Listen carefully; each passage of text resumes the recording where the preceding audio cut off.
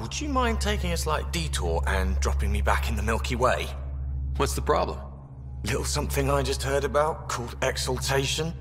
Guess you should have read the fine print on the initiative brochure. Or read it at all. I gotta start eating more protein and getting a full night's sleep. It'll take everything we got to get through this mess.